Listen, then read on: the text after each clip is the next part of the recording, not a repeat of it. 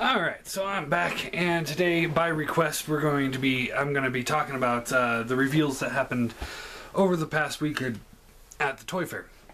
Um, originally, I wasn't going to do a video by this or about this because uh, honestly, I didn't feel that there was quite enough for me to really talk about. Um, I mean, yeah, there's some great reveals. Don't get me wrong, but I feel a lot of it was focused on the um, RID line, the let's see, uh, the I think the bobblehead, the weird, super deformed things. I don't know. The bobblehead, hero, heart hero. I don't. I don't even know what they're called, honestly. Um, and the um, Kre-Os. Um, there was a lot of reveals on those, and I honestly could care less about them. Um, I, am not going to be collecting the RID line as of now. Um, if the show comes out and proves to be really, really awesome, then I might start buying them. But as of right now, I have no intention to get them. Just the same way as I felt with the uh, Transformers Prime figures. Um, I had no interest in getting them until the show came out and turned out it was really cool. And then I collected pretty much the whole series. Then I sold it off because they never, they were never going to finish the the figures.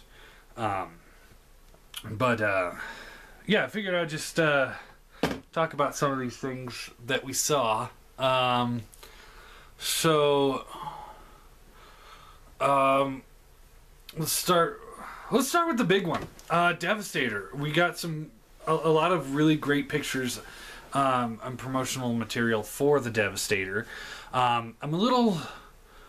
I, was a little shocked that uh, we were seeing green Devastator um, at this point um, because from what I've heard, the San Diego Comic Con is supposed to be getting the yellow Devastator, um, and then the green one won't be out till the end of the year, um, fall sometime.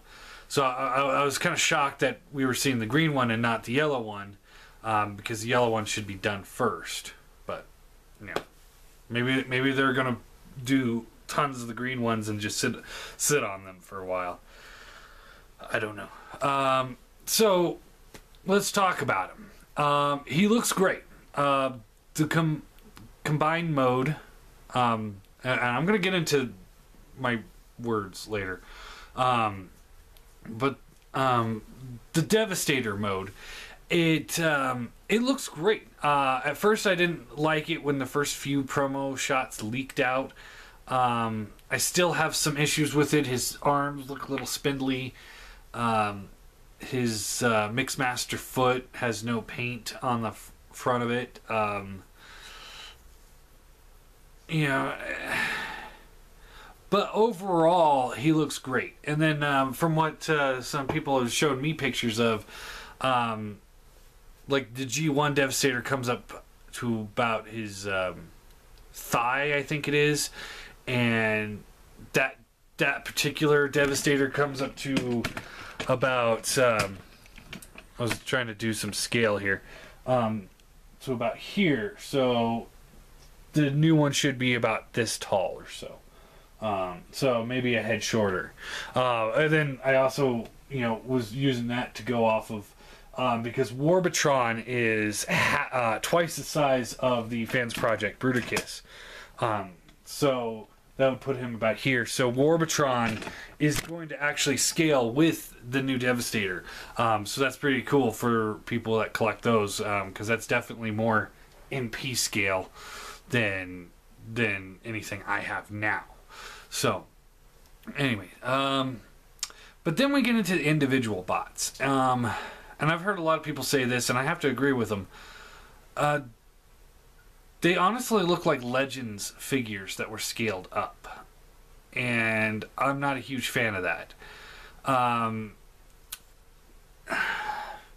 Scrapper, or no, Scavenger and um, Bone Crusher, their legs look funky because of the way they transform. Um, let's see. Scrapper, I have the biggest problem with because he has no elbows. He looks like he's got swivels, but no fucking elbows. I hope that the only reason why they're doing that is to uh, help stabilize the, the figure in in um, in Devastator mode. but other than that, there's no excuse for not having elbows. Um, and I have one one friend that says, uh, you know, they're just basically scaled up versions of the G1 figures, and that's great.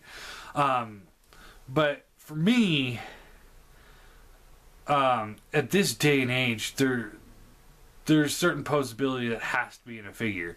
Um, there has to be at least a head swivel, um, either a universal or ball jointed shoulders, hinge at the elbow, um, universal or ball jointed hips, and hinge at the knees.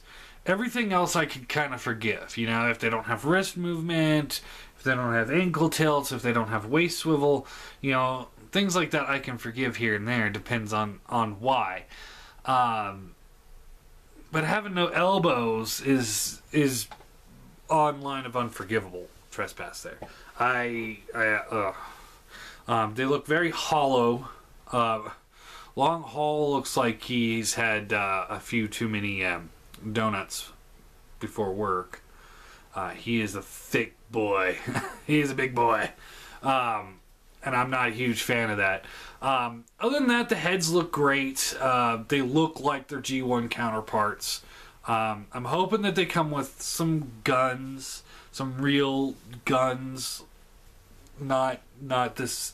You know, okay, well, this is the forearm for Devastator. We're to use this as a gun.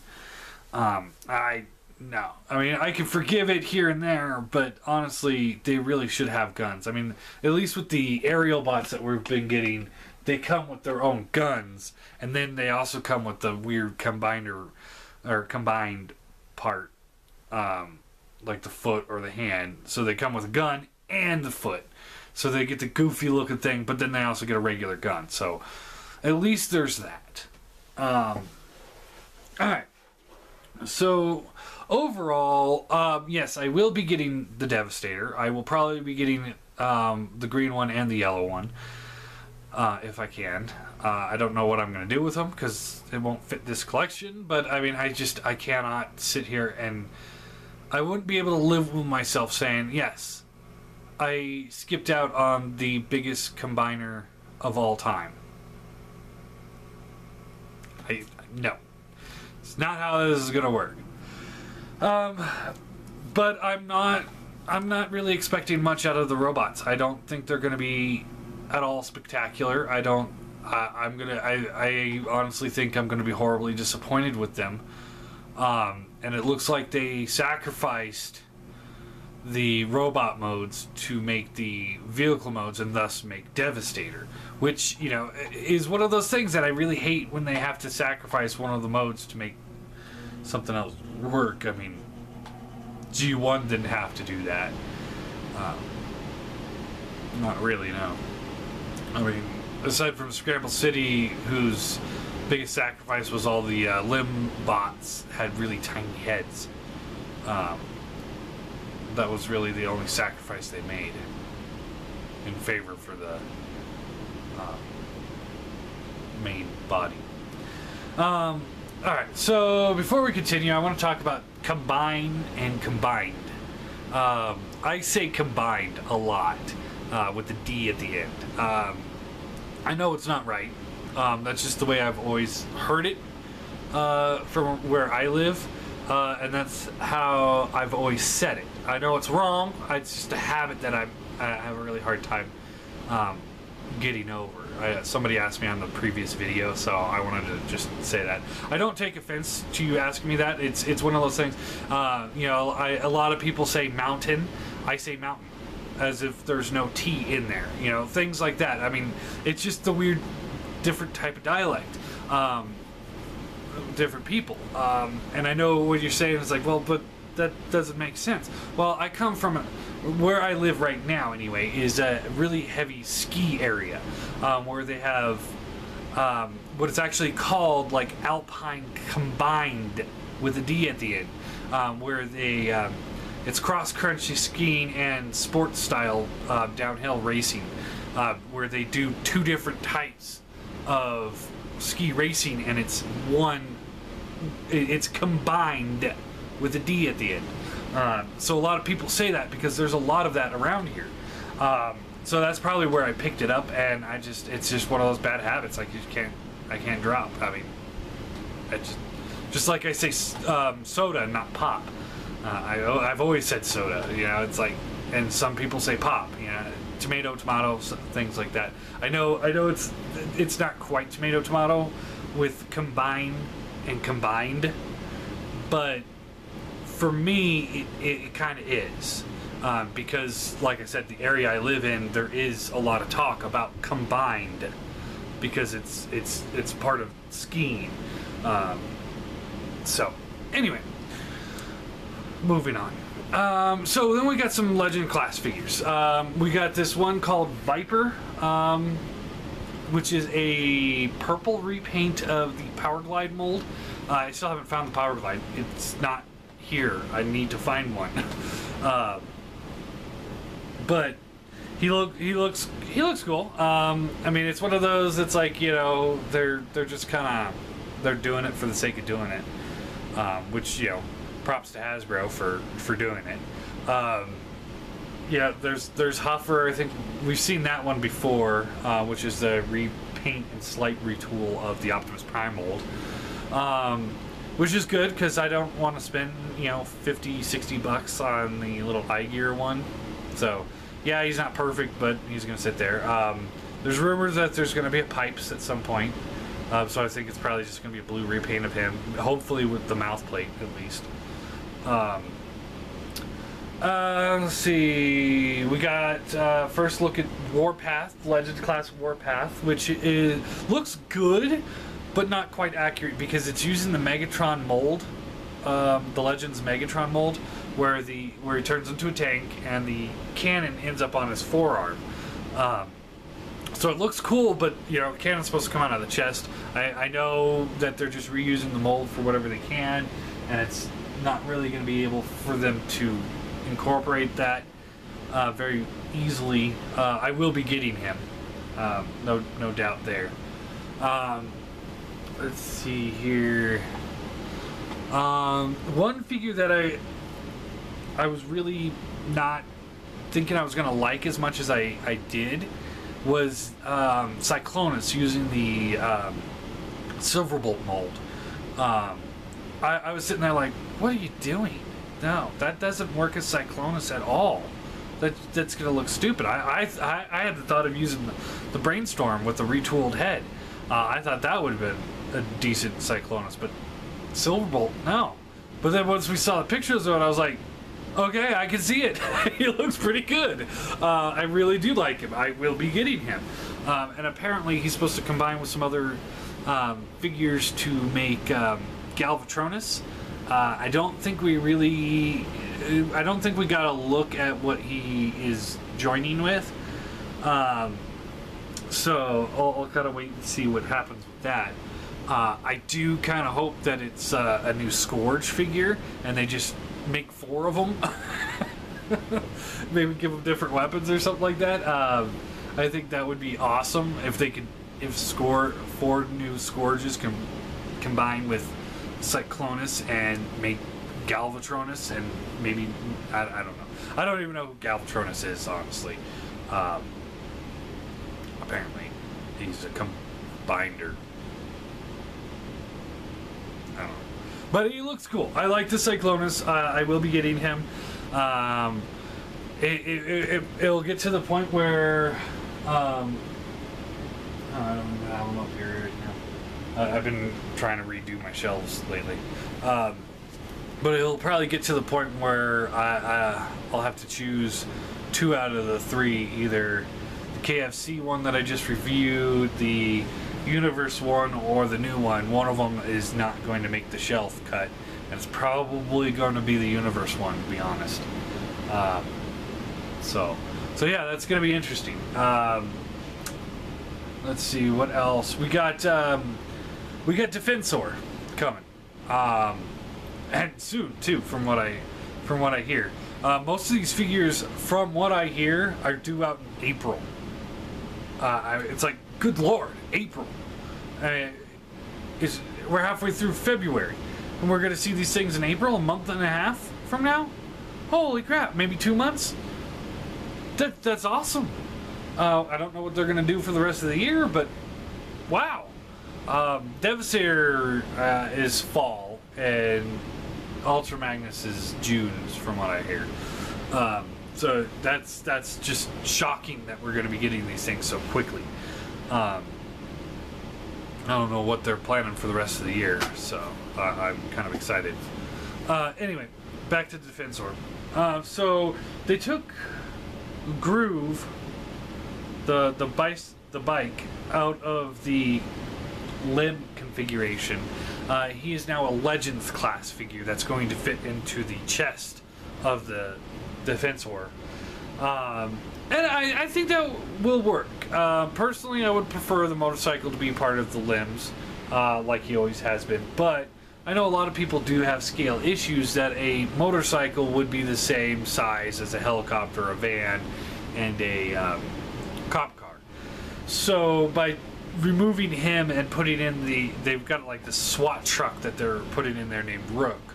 Um, so by taking him out and putting Rook in, um, it, it will solve some of those scale issues. And when some people sit there and think, oh, well, helicopters are really, really big in comparison to a car, well, um, where I live anyway, um, our flight for life helicopters are not very big. Uh, we're talking two people and, and the uh, a bed in the back.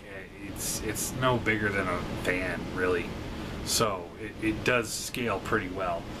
Um, some of the flight for life um, helicopters. We also got rescue helicopters, which is just a two seater. Um, so, um, so anyway, I mean, I've, I've seen all that. So, anyway, um, I kind of yeah, I'm, I'm very excited for the Defensor. Um, you know, I, I did trade off my TFC Defensor before I was able to finish him. Um, but it's awesome that we're going to be getting one so soon. Um, you know, if if April's accurate, we might actually. Well, no, I think the Defensor, TFC's Defensor is pretty much done.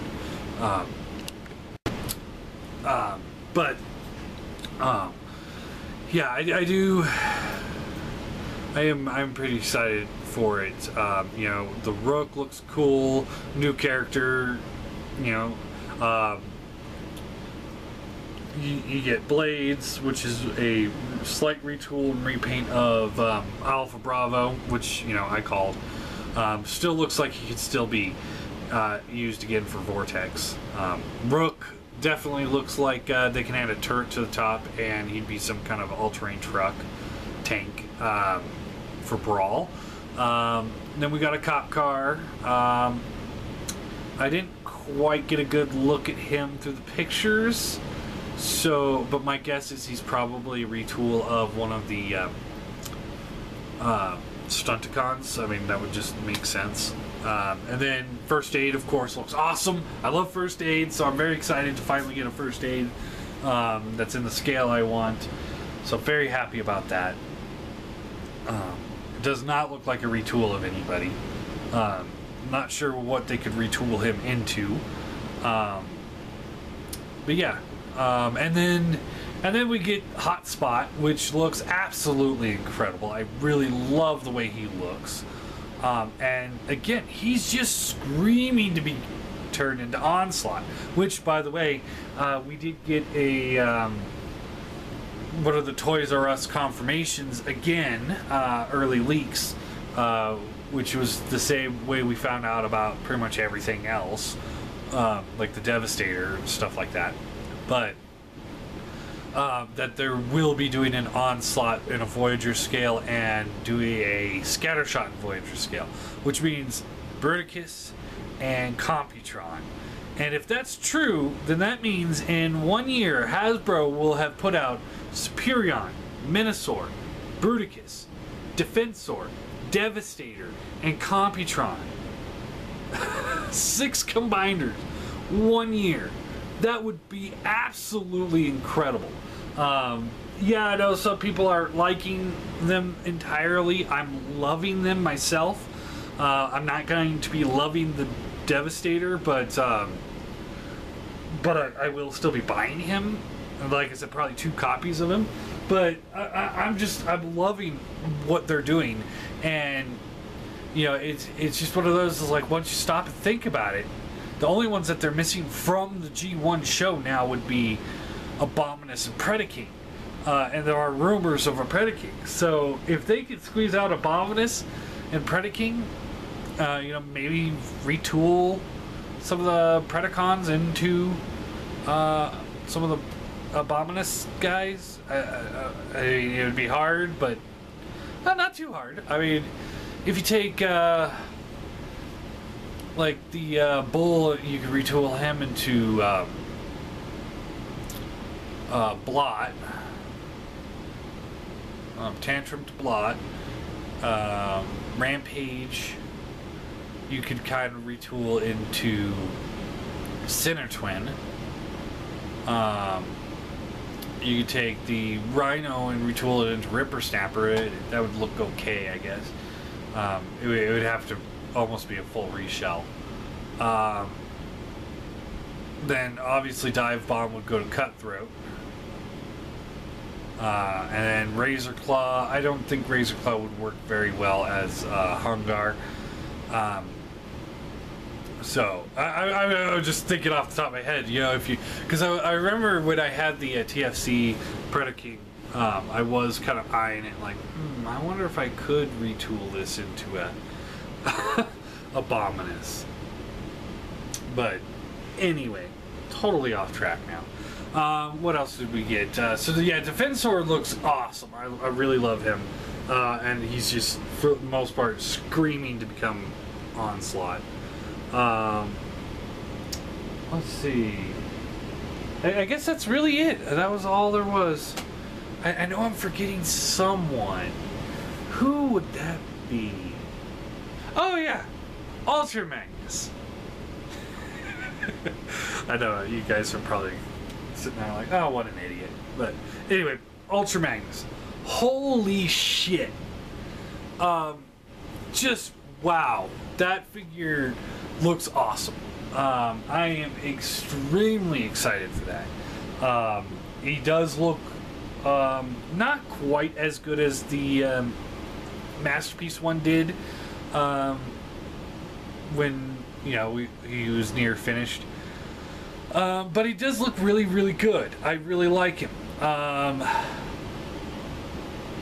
I don't really know what else to say about him. He looks just amazing.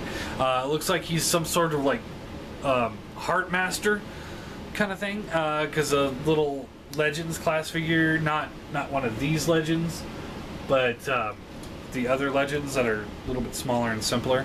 Uh, looks like he could fit inside of his chest and be like uh, the pilot, which is awesome. Um, I mean, I know that's not like accurate by any means whatsoever, but who cares? We're getting an Ultra Magnus for classic scale. it's going to be a leader class, so it's going to be like the size of the Jetfire, um, which is going to be awesome uh, because I think that's where Ultra Magnus needs to be um, for classic scale. Uh, I'm really excited. Uh, he's going to be, you know, what, 45, 50 bucks. Uh, and you can't argue with a price like that for a figure like that. Um, I, I hands down, I think, um, I think so. All in all, what I have to say, um, the one that stole the show for me was Ultra Magnus. Um, the first pictures of him that kind of leaked out, I was like, oh my god, this is it. This is the figure. Uh, figure of the year from Hasbro. um, not to be confused with Takara. That would be Masterpiece figures. So I don't think he's quite Takara level. But, ah, yeah, figure of the year for Hasbro, I think. Um, looks incredible. Um,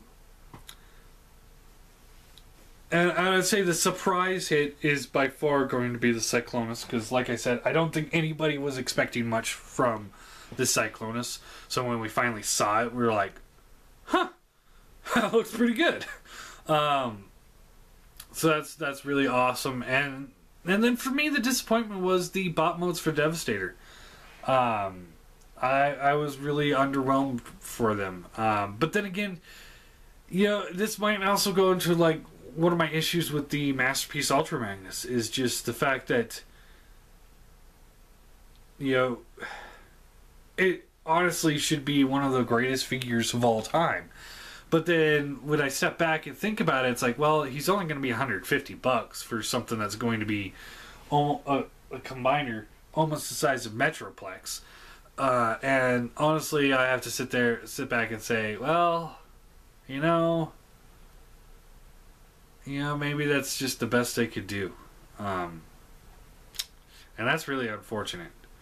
Um, yeah, it's really unfortunate because um, I, like most people out there, would spend, you know, close to six hundred dollars if they made it really accurate uh, and made it really awesome. Like, you know, I mean, hell, we all did with Hercules at one point, uh, or most of us did. Um, or spent at least four hundred on Giant. Um, you know, we there, Giant there, back there. Um, you know, we, uh, you know, we've spent crazy amounts of money on the third party figures. So if Hasbro actually made the an official product and was charging about the same much as third party, I think most of us would still not bat an eye on it because then now we're like, oh, well, at least this is Hasbro quality. And we don't have to sit there and wonder, well, is he going to be good? Is he going to be bad? You know, whatever. Um, but I mean, 150 bucks still isn't that bad of a deal, even if he does look like an oversimplified legend or oversized Legends class figure. Um, like I said, unfortunate, but it is what it is. So, uh, so yeah, there, there you go. There's my thoughts on the Toy Fair. Um, a lot of cool things coming out. Um, very excited. Um, you know, they haven't officially said that they're an onslaught or Bruticus, but I'm excited for him because I'm I'm pretty sure at this point it's it's pretty much in the bag that we're gonna get one of those. And you know, if, if they really are going to do a scatter shot, um, probably another retool of the uh, Silverbolt mold, I would imagine. Uh, then I, I, I, would be shocked not to see the rest of the Technobots. Um, so so yeah, there you go. Uh, I think it's going to be a fun year again. Again, I, have said this a couple times, but I think it's going to be a fun year.